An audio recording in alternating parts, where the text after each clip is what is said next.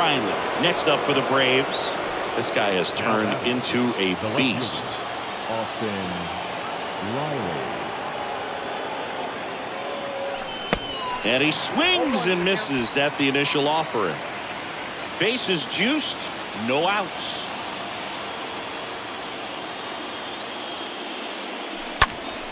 Fouled off. He was late. You need a strikeout, and you need a ball perhaps on the ground for a double play or get yourself a pop-up, something, but you've got to make some pitches.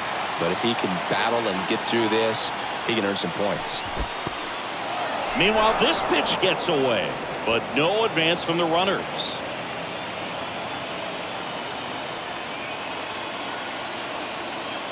And he deals.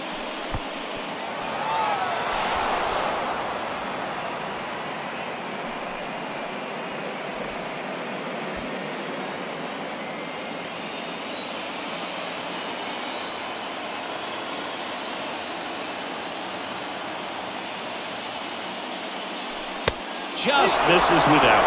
I think ultimately you want to tie him up, get the ball in on the plate so that he can't get the barrel to it and hit it to the outfield.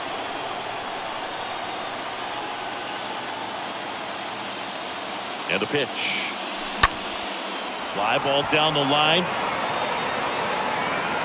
Makes a nice running catch. Runners tagging from second and third. Puts the tag on him and it's a double play. But they do get a run.